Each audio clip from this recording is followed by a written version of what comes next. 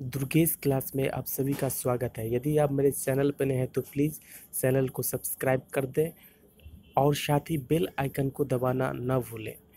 दोस्तों, बहुत दिनों से पीआरटी की सीट को लेकर छात्र आंदोलन कर रहे हैं, लेकिन अभी तक पीआरटी सीट पे नियुक्ति नहीं हो सका है। लेकिन छात्र और कुछ नेता लोग आंदोलनरत हैं कि जल्द से जल्द पीआरटी सीट पे जो मेरिट बेस पे नियुक्ति हो सके।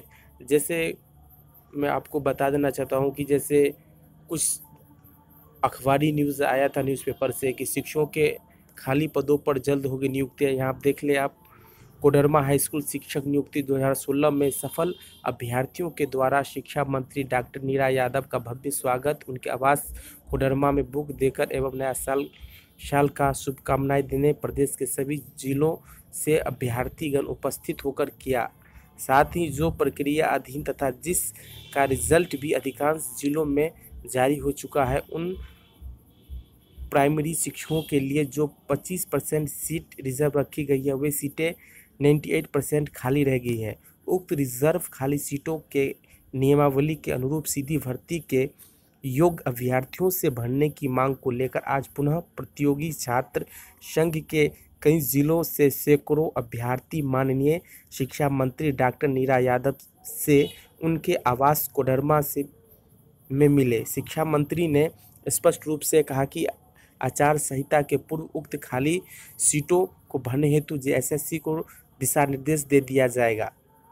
ज्ञातव्य है कि नियमावली संगत प्राइमरी शिक्षकों के लिए रिज़र्व खाली सीटों की सीधी भर्ती के अभ्यर्थियों के में, अभ्यर्थियों से वर्तमान बहाली में ही भरने की मांग को लेकर संघ पिछले नौ महीने में से आंदोलन करता आ रहा है। विधानसभा भी शिक्षा मंत्री ने उक्त खाली सीटों को भरने की बात कही। शिक्षा मंत्री से मिलने वालों में कोडरमा, गिरिडीह, धनबाद और पाकुर दुमका, साहेबगंज, गोड्डा, पलामू, हजारीबाग, रांची, रामगढ़ आदि जिलों के प्रतियोगी छात्र संघ सदस्य शामिल थे।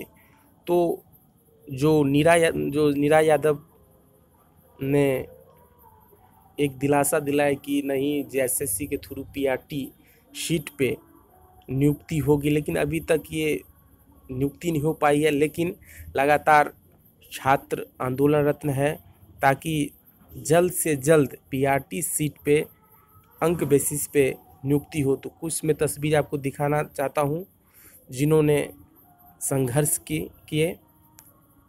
ये आप देख सकते हैं। यहाँ भी आप पढ़ सकते हैं कि पीआरटी मिलेगा।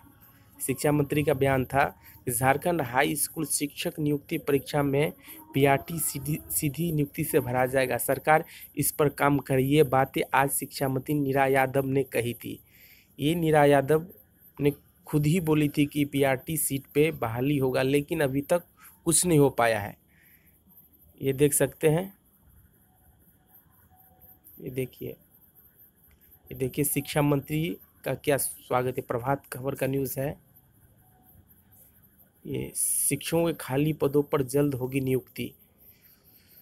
तो अभी तक हर ज़िले के जो हमारे प्रतियोगी छात्र हैं, पीआरटी सीट के लिए कड़ी मेहनत कर रहे हैं और जहाँ तक ये जल्द से जल्द नियुक्ति भी हो जाएगी तो आप लोगों के वीडियो कैसा लगा? अच्छा लगा तो प्लीज़ शेयर करें, लाइक करें और कमेंट करें। और चैनल को सब्सक्राइब ज़रूर करें।